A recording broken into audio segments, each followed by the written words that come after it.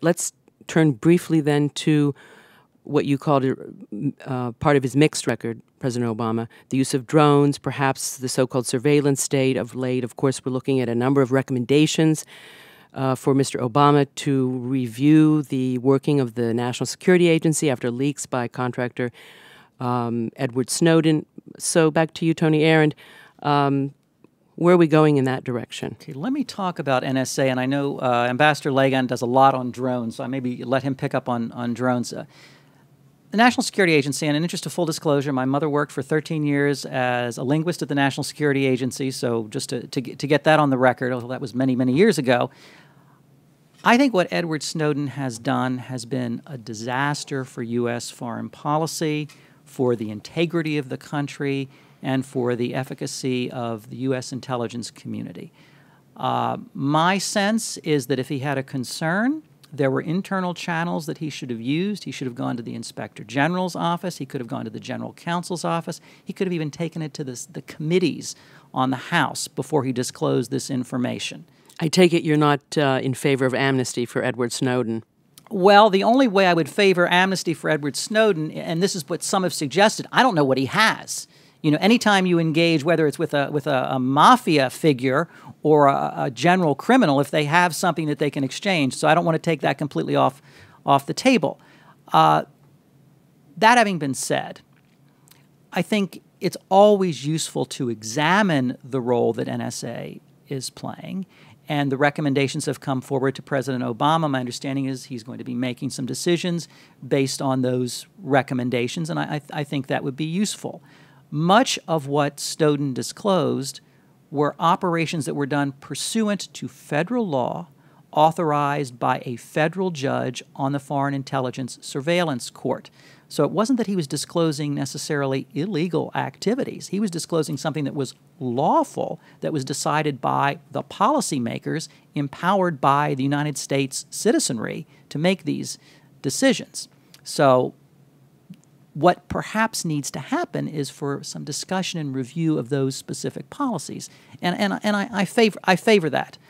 I think the ominous side of any of this is that the technology can get out of control, meaning because you can do something, you will do something. And so I think strong restrictions, strong checks do need to be established in that regard.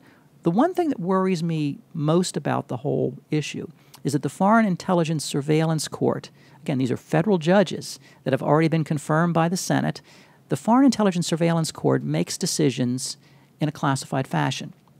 So orders are issued and opinions are issued that are classified, that are never made public. My main concern is that there is a jurisprudence, there is an interpretation of the law that is developing in this classified court that we don't know about. That is unusual. Law is supposed to be public. Legal decisions are supposed to be public so we can understand what the jurisprudence is. So that concerns me.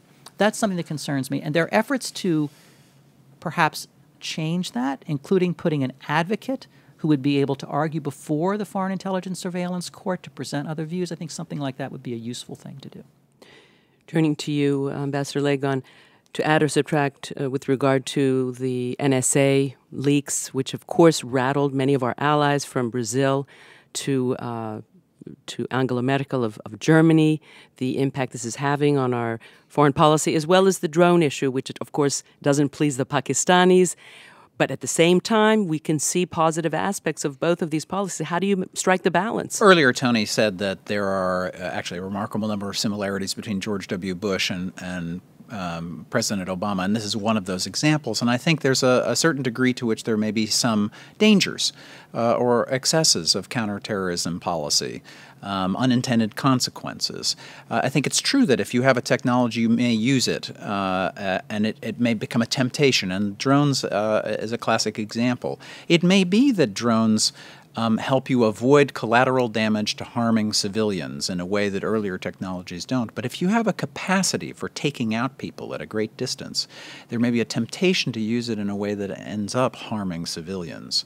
Um, uh, the probably the most uh, important political scientist in the United States in the last half century, Samuel Huntington, said in one of his lesser-known books, "American Politics: The Promise of Disharmony," when there is a gap between the ideals and the institutions of the U.S. government, there's inevitable change. And I think you may find that the lack of transparency, both in the NSA policies and on decision making about drones, may lead to a demand not just from our allies, but indeed from American citizens to rethink are we changing as a society as we're trying to protect security and um, promote freedom in the world? Is freedom uh, being corroded a bit at home?